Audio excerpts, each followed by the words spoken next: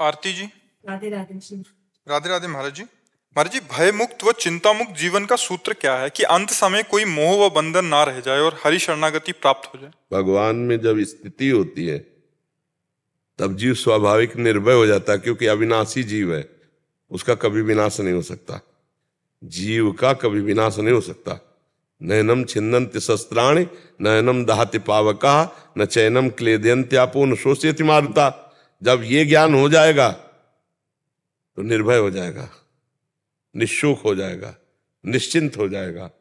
पर ये जो ज्ञान है अपने स्वरूप का, शरीर में मैं भाव होने से ढक गया।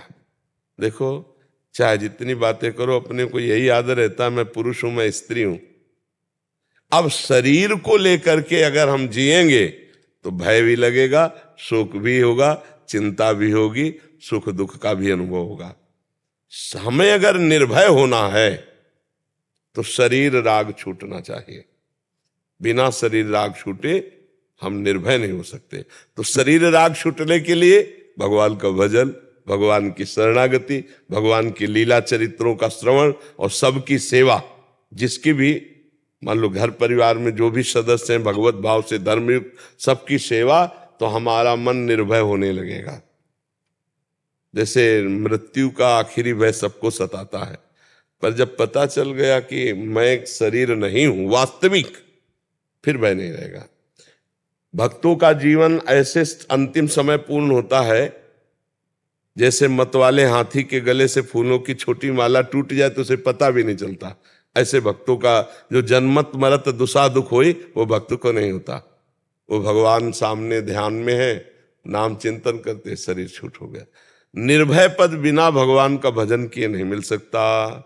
शरीर राग छूटे बिना आप भय रहित नहीं हो सकते। जब तक शरीर में अपनापन है तो भय रहेगा, कामनाएँ रहेंगी, चिंता रहेगी, शोक रहेंगे। तो भगवान की शरण में होकर भगवान का नाम जप करते हुए, भगवान की लीला चरित्रों का गायन करते हुए यदि हम जीवन व्यतीत करें और शरीर को एक यात्रा की केवल गाड़ी समझे।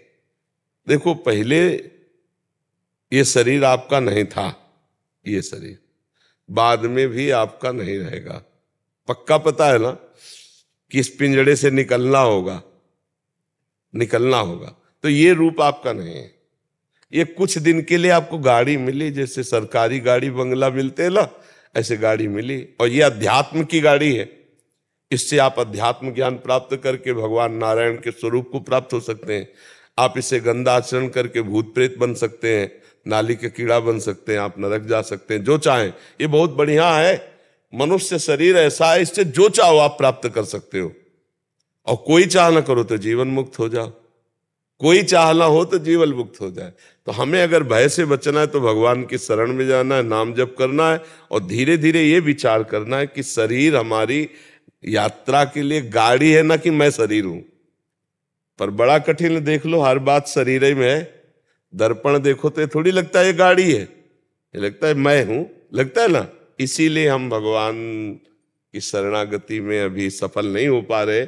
देहाभिमान, देह राग, जब हम अपने को स्त्री समझेंगे तो फिर हमारे अंदर आवश्यकताएँ हैं। नाना प्रकार की लालसाएँ हैं। हम अपने को पुरुष समझेंगे तो लालसाएँ हैं। और इन्हीं कामना और लालसा में फंस गए तो भगवान की प्राप्ति नहीं होती। भगवान की प्राप्ति होती है जो सारी कामनाओं को मिटा दे।